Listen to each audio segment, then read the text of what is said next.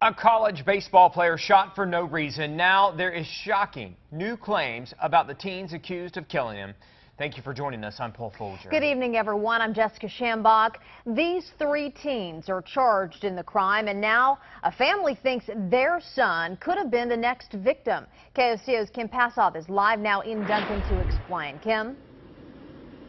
Paul and Jessica, this is the spot where the Australian exchange student was gunned down, and tonight the memorial to him continues to grow. We've seen many people coming out here to pay their respects, and we talked to one mom who says that she believes her son could have been the next victim if the teens accused in this murder had not been arrested.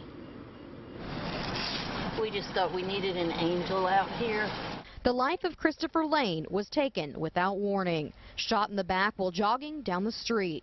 The three boys accused in the cold-blooded murder were arrested in a church parking lot across the street from Sheila Haynes' home. I'm still in disbelief. I mean, I really am. Sheila says two of the boys used to be friends with her 17-year-old son. I had a heard different things about them, you know what I mean, but never would in a million years would I thought they would have dared to do such a thing. After they allegedly murdered the college baseball star, they drove nearly three miles, parked here, and waited. Sheila was out celebrating her birthday, but her 17-year-old son, who she says had a falling out with the boys, was inside the home.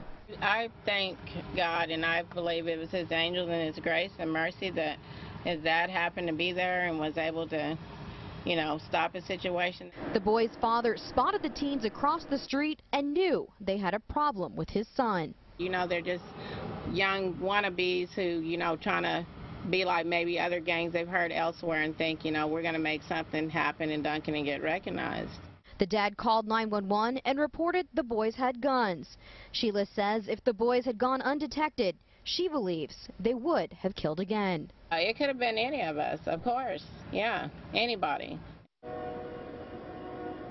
And Sheila tells me that she does worry about gang retaliation, so she's keeping her son out of school and away from home in a safe location at this time. Reporting live in Duncan, Kim Passoff, KOCO 5 News.